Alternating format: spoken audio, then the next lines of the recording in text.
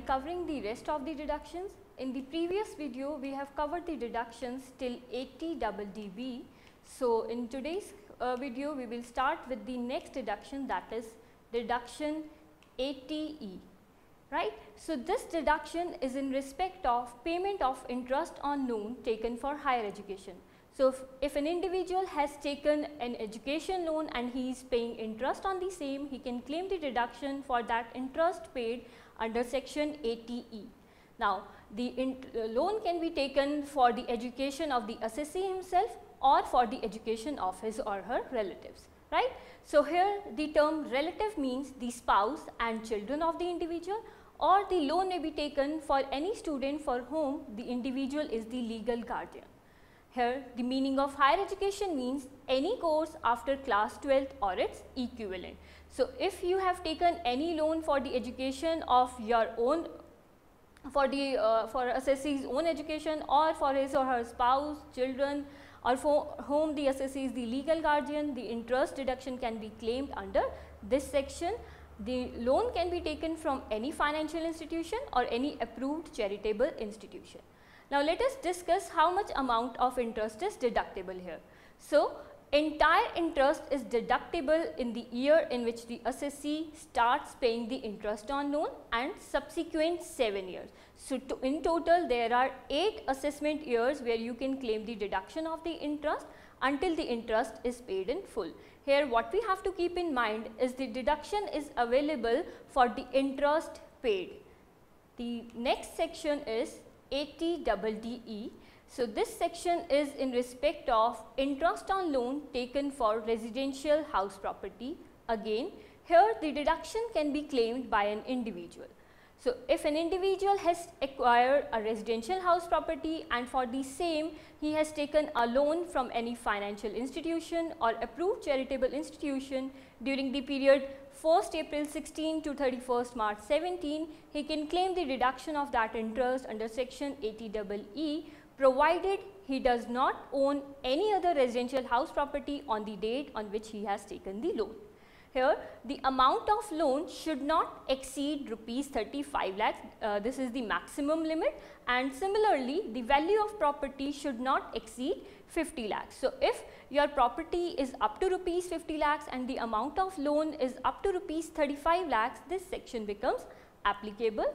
Here the amount of deduction that can be claimed is rupees 50,000 or the amount of interest on loan whichever is less. So, let us uh, assume if the interest amount is rupees 40,000, so you can claim 40,000, but if it is 60,000 the maximum amount that can be claimed here is rupees 50,000 only. The point that we have to keep in mind here is that the double deduction is not allowed. What does it mean? It means if you have claimed the deduction for this interest in any other section of the Income Tax Act, you cannot claim the same amount of interest under section 80EE. So, for 80EE interest on loan taken for residential house property, the maximum interest is rupees 50,000 which can be claimed. Similarly, we have this uh, next section that is 80EE. Now, 80EE is in respect of interest on loan taken for certain house property. Now, what is the difference between 80EE and 80EEA?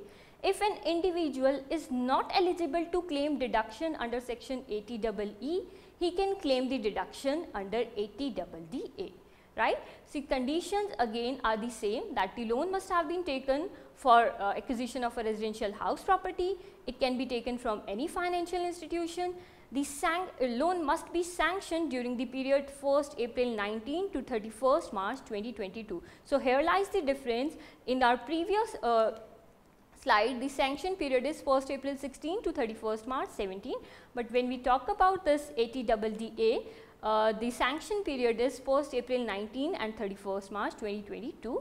Again the condition is that the assessee does not own any residential house property on the date on which he is taking the loan. Here the value of the property for which the loan is being taken should not exceed rupees 45 lakhs and the amount of deduction that can be claimed here is either the interest payable or the amount of rupees 1 lakh 50,000 whichever is less. So, in the earlier section that limit was rupees 50,000, here the limit is rupees 1 lakh 50,000 and the deduction shall be allowed for the assessment year 2021 and the subsequent assessment year. Same rule applies here also. If you have already claimed the deduction for interest on loan taken for this property in any other section of the act, you cannot claim the deduction under section 80EEA. So, our next section is 80EEB. This is in respect of interest on loan taken for purchase of electric vehicle. So, if you have purchased any electric vehicle, you can claim the deduction for the interest on loan which you are acquired for this purchase. Who can claim the deduction? Again, this deduction can be claimed by an individual.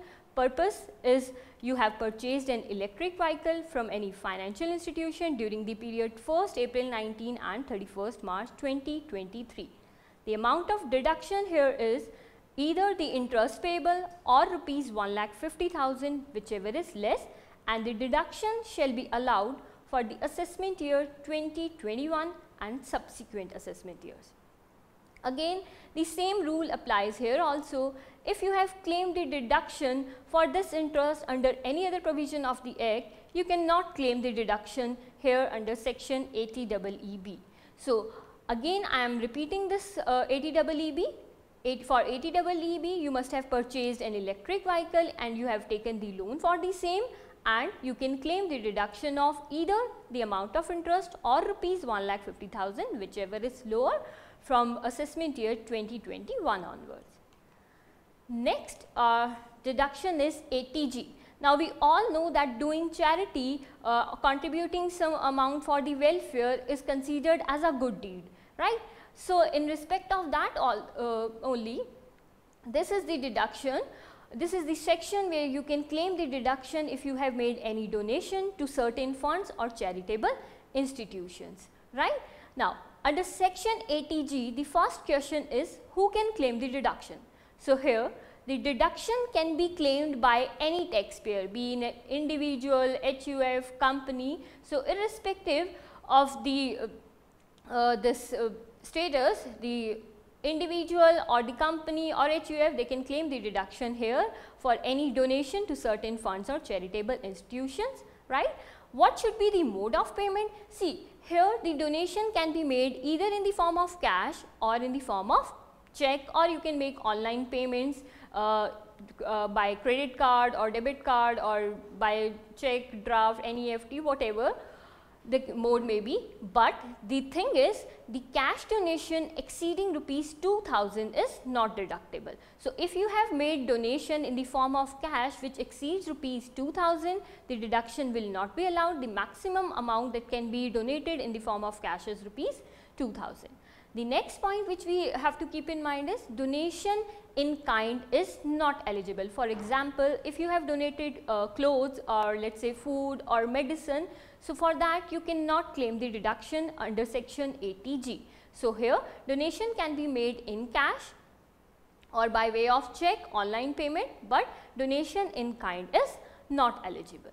Next thing is the amount of deduction. Now for that broadly there are four categories uh, for claiming the amount of deduction. Now what are those four categories I have mentioned in this uh, slide. See first of all we will divide these four categories into two parts. Number one is without any qualifying limit and number two is subject to qualifying limit of 10 percent of the adjusted gross total income.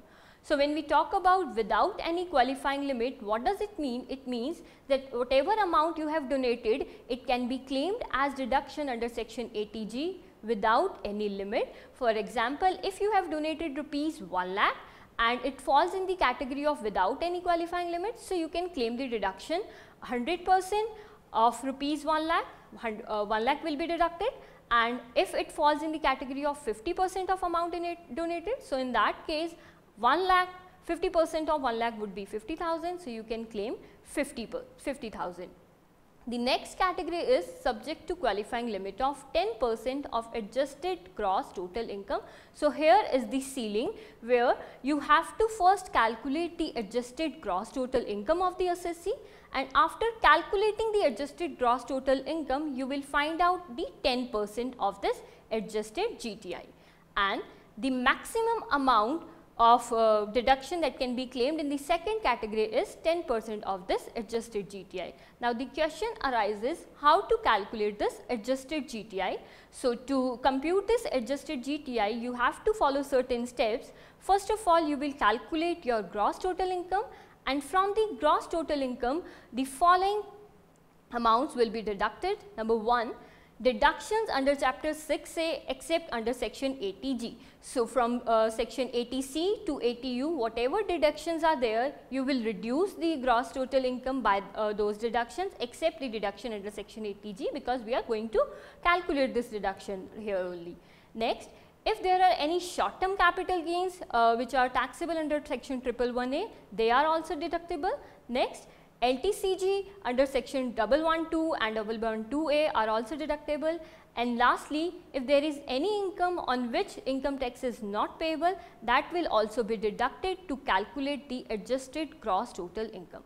So, let us assume if my gross total income after, after deducting all these amounts if my adjusted gross total income comes out to be rupees 10 lakh then I have to calculate 10 percent of this 10 lakh which will be rupees 1 lakh so, if uh, my donation falls in the category of this maximum ceiling, so for that the maximum ceiling would be rupees 1 lakh and if you have donated 100 percent of amount donated uh, you can claim the deduction of 1 lakh. If it is 50 percent of amount donated, you can claim the deduction of rupees 50,000.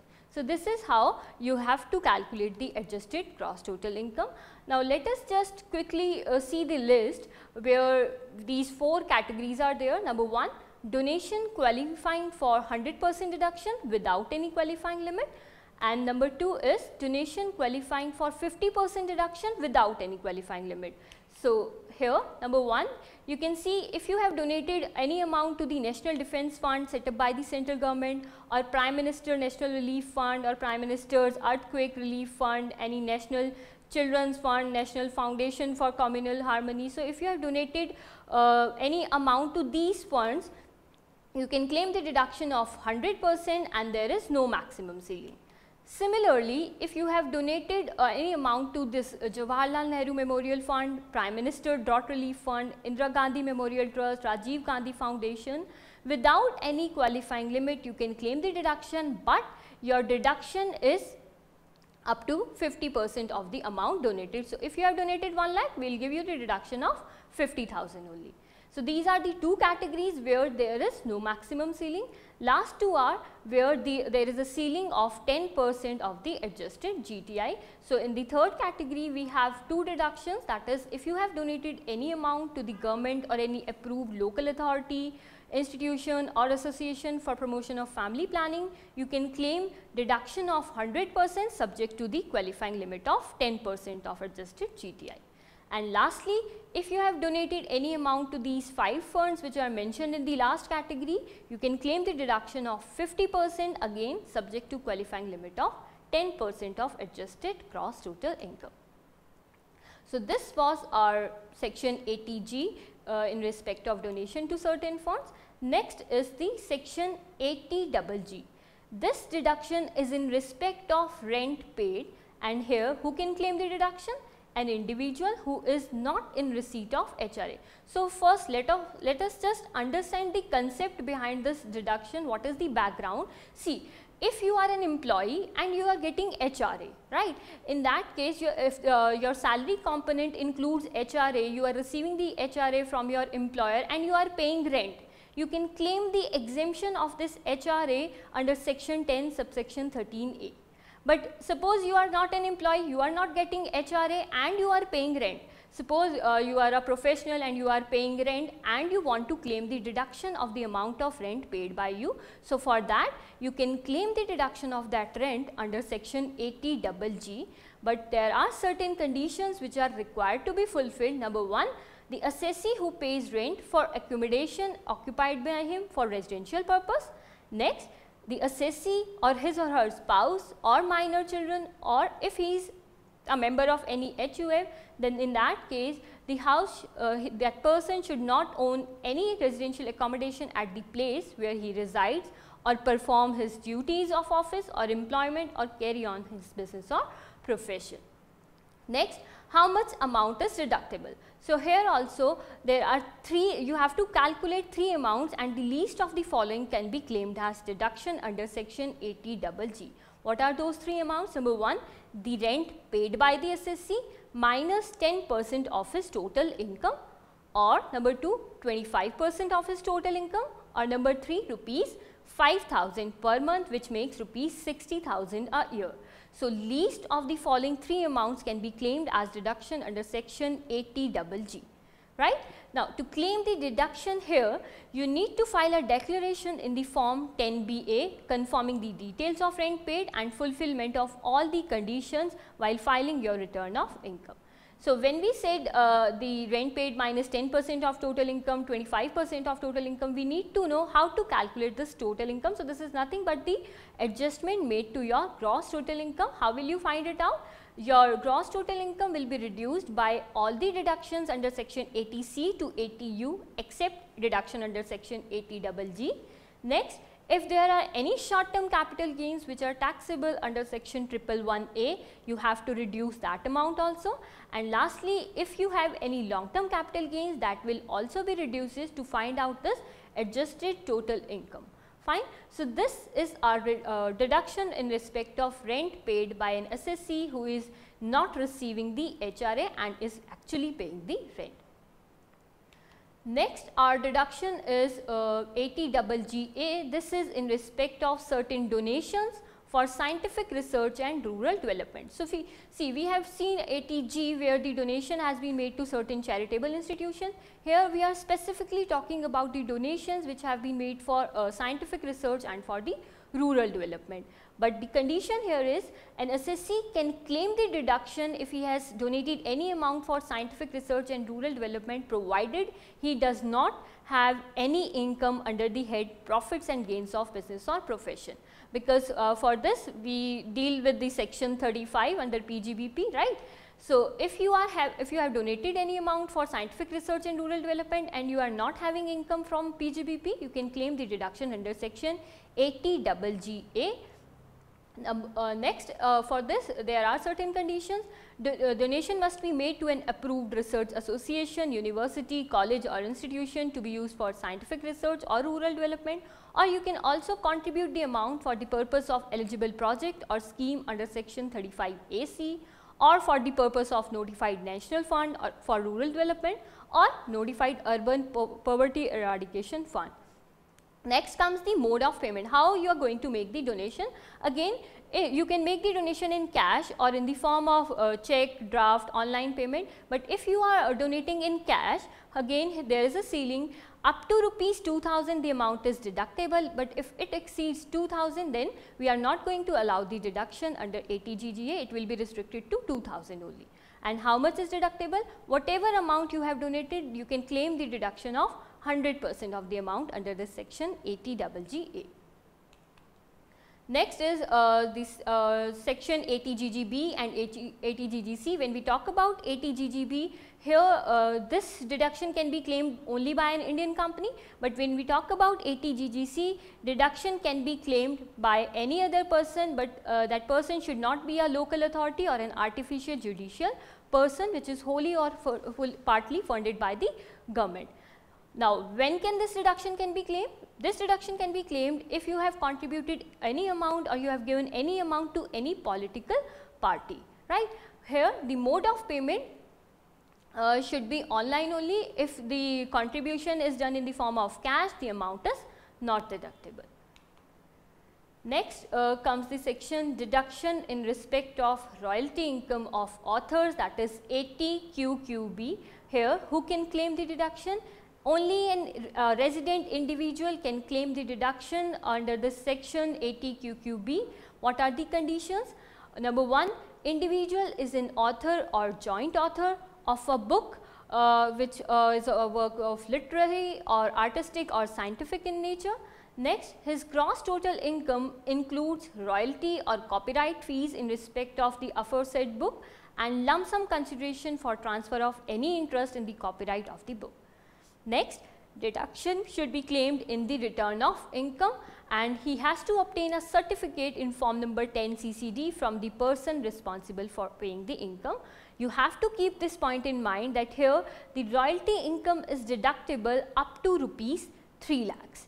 So, if uh, your royalty income is 2 lakh 50,000 you can claim the deduction here if it is 3 lakh 50,000 it will be restricted to rupees 3 lakhs only and next point is if the rate of royalty is more than 15 percent the excess amount shall be ignored. So, two limits are there in the case of amount it is up to rupees 3 lakh and we when we talk about the rate it should not exceed 15 percent. So, this 80 QQB talks about uh, deduction in respect of royalty income of authors. Next is we have this section a deduction in respect of royalty on patents that is 80 RRB. Here again the deduction can be claimed by a resident individual only. He may be a co-owner of the patent. He is in receipt of any income by way of royalty in respect of a registered patent and the deduction should be claimed while filing his return of income. He is also required to furnish a certificate in form number 10 CCE taken from the person from whom he is getting the royalty and here again the amount of deduction is up to rupees 3 lakh. So, these are the two sections that is 80 QQB and 80 RRB which deals uh, in respect of royalty income. Next we have the section 80 TA. Now 80 TA this is the deduction in respect of interest on deposits in saving accounts. So, we all have saving accounts, uh, we all earn some interest income on our saving bank balances, right. So, we can claim the deduction for that interest income under section 80 TA.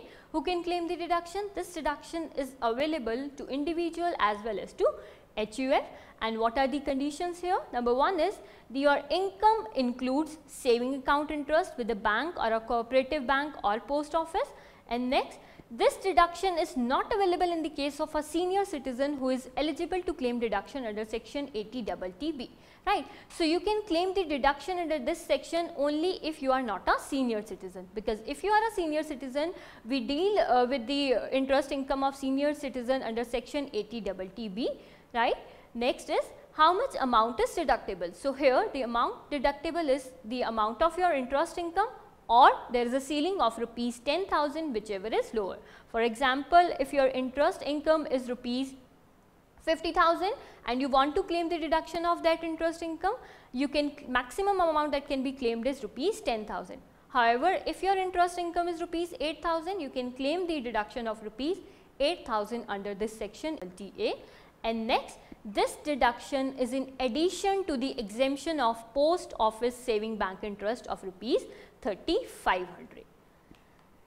Next, uh, this uh, 80 I have already uh, discussed this that uh, deduction in respect of interest on deposit in case of senior citizen the deduction can be claimed under 80 double TB only by a resident individual who is a senior citizen and whose income includes interest on deposit with a bank or cooperative bank or post office and it may be interest on FD or interest on savings account. So, for when we discuss this 80 TA, we talked only about interest on savings account and when we are talking about 80 TB, it includes the interest on fixed deposit as well as interest on saving account. This deduction can be claimed only by a senior citizen who is a resident individual and the amount of deduction is either the amount of interest or rupees 50,000 whichever is lower. So, here we have a higher limit in the previous section the limit was 10,000 here it is 50,000. Again this deduction is in addition to the exemption of post office saving bank interest of rupees 3500. And lastly, we have this section which deals with uh, deduction in the case of a person with disability. So, if the assessee himself is a resident individual and he is suffering from any disability which is more than 40 percent, it may be blindness, low vision, mental illness. So, he can claim the deduction under section 80U and there is a fixed amount of deduction that can be claimed by him which is rupees 75,000. However, if the disability is severe that is if it is more than 80 percent then there is an enhanced amount of rupees 1 lakh 25,000 uh, the condition here is that he has to to claim the deduction he is required to obtain a certificate issued by the medical authority. So, 80U is our last section. Uh, thank you students. Happy learning.